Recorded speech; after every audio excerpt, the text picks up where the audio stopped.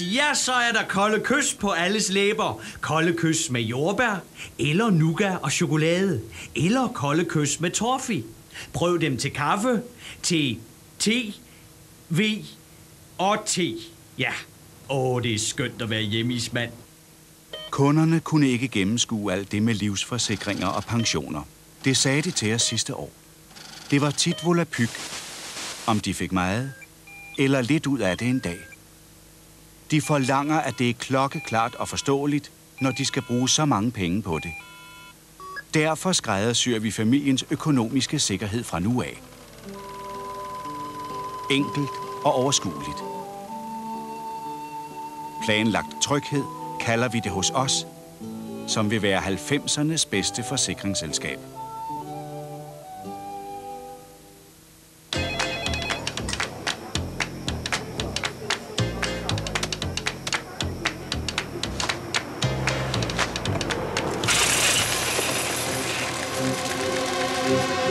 Nogle gange går det lidt for hit til, men ny Rexona Deo har et unikt system, som giver ekstra effekt, når du virkelig har brug for det.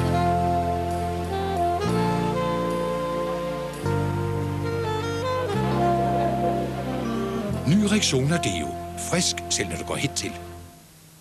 Sådan laver du lasagne. Ah.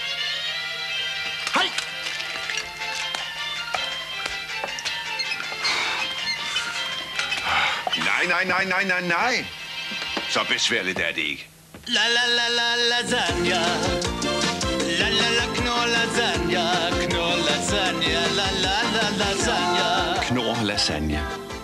Fyld din hverdag med italienske oplevelser. Lasagna. Din nye nærbutik hedder Dagligbrusen, og vi er friske med kvaliteten hver eneste dag. Dagligbruse. Vi kan give dig lave priser i hele butikken, masser af discount og altid nye gode tilbud. Du får daglige lave priser på et godt udvalg af kød, og vi kan bruges både til hverdag og fest. Velkommen i din nye nærbutik. Frisk, billig og lige i nærheden.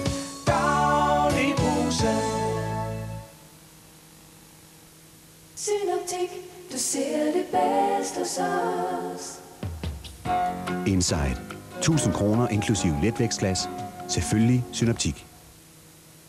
Mange rammes af paradentose, tandkødsbetændelse eller huller. Paradentose skyldes bakterier, der arbejder sig ned i tandkødslommerne. Centium tandpasta har enzymer, der hæmmer bakterier, og fluor, der mindsker risikoen for huller. I vores brochurer kan man læse om, hvordan problemerne undgås. Få dem hos tandlægen eller i butikkerne. Centium har udviklet et nyt mundskyllemiddel, der også indeholder bakteriehæmmende enzymer til gavn for tænder og tandkød. Klinisk dokumenteret effekt. Centium med enzymer gør noget ved problemerne.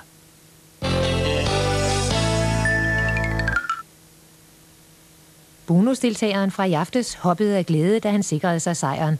Og der er ikke noget at sige til det. Han har gevinster for næsten 60.000 kroner med sig.